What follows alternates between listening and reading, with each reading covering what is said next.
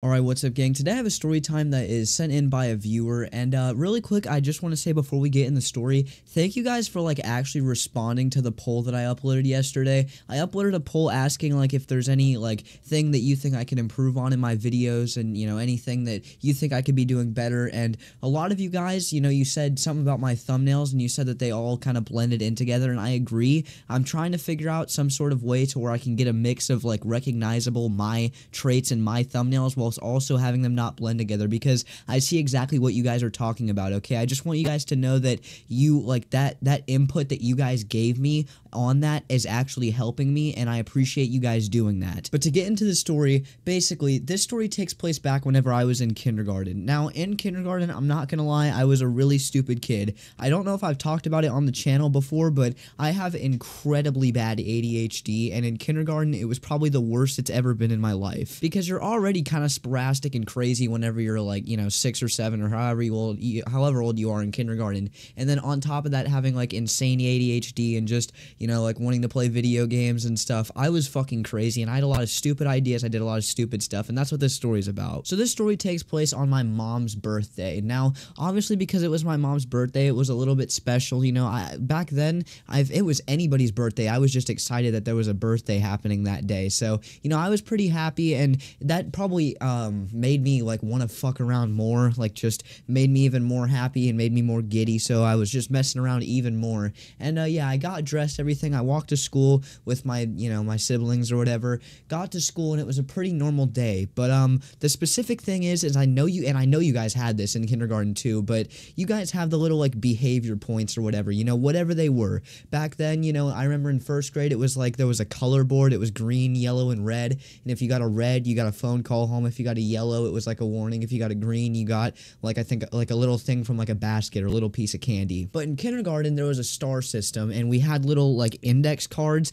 And if you got five stars for the day of good behavior, you got to pick from a little basket. I don't know why these are so popular. I, I know you guys had these too, but we did this stuff all the way up until like fourth grade, and it was like the highlight of our day. So at the end of the day, I had saved up five stars, which means I got to get a prize that day. So the teacher gets out the basket. I'm looking in the basket, and there's a little whistle, okay? I don't know why I decided to pick the, the whistle because there was like little Chinese finger traps and like Jolly Ranchers and stuff in there that I could have gotten, but I picked the whistle. I don't know why I just was like, yo, this make loud noise funny, cool. And you know, my pea brain of a kindergartner was like, that's cool. I picked the whistle and I'm going home, okay? I'm not gonna lie, this is kind of a short story, but um, I'm going home and it's my mom's birthday. We're opening presents like right after school and uh, you know, she gets to my present. I gave her a little card and a candle that I went and got with my dad the other day and uh, it's pretty cool and uh, but the other thing was is at school I wasn't necessarily very, like, I guess, well behaved at recess either.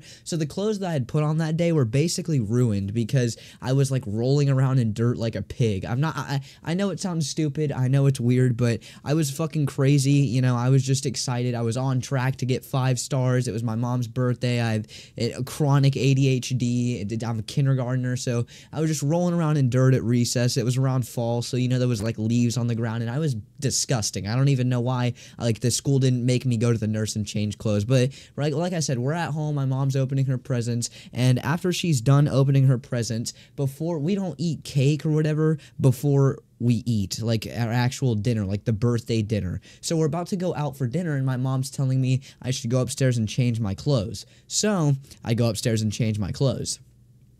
But me being the chronic ADHD kindergartner who got five stars and it's my mom's birthday, uh, I'm fucking crazy whenever I'm upstairs. And for some reason, I decide that while changing my clothes, I'm going to mid like clothing change. Okay, I'm about to start changing my clothes. I get out the whistle from my pocket because I, you know, I was taking my pants off, and uh, I come up with the per the, perfect idea for a fun time. And that perfect idea was to get on top of my dresser, which was um like right next to my bed, and then jump off of my dresser onto my bed. Now, this wasn't the first time I'd done this. I've done this multiple times. I don't I don't know why, but I mean, people, kids do that. They just do stupid shit, and you know, you get hurt and you get over it and you learn, and it's a part of it. And this particular time I did it, I was in jeans, and my jeans weren't fully on. They were like. Uh, a little bit, you know, down, not not like, you know, on my ankles, but like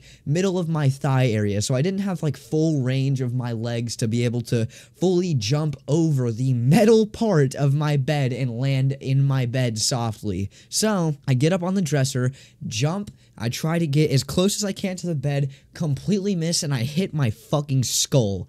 And uh, at this point, I don't remember much of the story. Like, I don't really know what happens from, you know, then till at the end of the story, but all I'm going off of is what my parents told me after I had, you know, basically come back from all this. I know I didn't black out, it's just my memory's foggy from it. Um, what happened was, I, you know, jumped, hit my head, and I'm I'm start screaming, okay? And uh, my par- I'm holding my head, and my head's just wet, and I'm just scared because I've always known like head injuries are the worst thing ever. You know, like you wear a helmet. There's reasons for that shit, and I, I know I'm bleeding. I can tell I'm bleeding. My my hands fucking red and wet, and my and my head's wet. Okay, I know I'm bleeding, and I just start screaming because it you know it fucking hurts. And my my parents a few seconds later they run upstairs, they see me, and we go straight to like the ER, okay?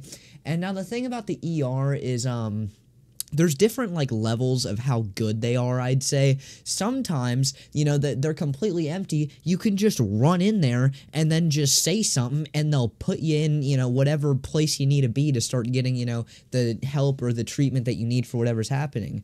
Uh, this time it was pretty fucking packed. And so I'm walking in there, and my mom had a wheelchair that uh, because my mom has like a really messed up back from doing gymnastics for a long time. Like it fucked up her back, and after surgeries, she got a wheelchair, and she still has the wheelchair, and it's always in the back of her car. So I, I'm getting in there on a wheelchair. My head, I have like a little rag on it that my parents got me before we left, and I I'm rolling, I'm getting rolled in there, and I kid you not, the fucking front lady people are like, "So what's the problem?" And I'm screaming and crying. And then my, my dad, he yells, There's a fucking hole in my son's head. And then after that, you know, whatever, you know, I get rolled into the place and they gave me some stitches. And that was about it. Uh, we never got to go out and eat. Uh, my clothes maintained being all fucked up. And uh, there's a little blood spot right next to my bed uh, to this day. Yeah, we, we ended up just getting takeout. You know, I think we ate some like Chick fil A or something like that. I don't know.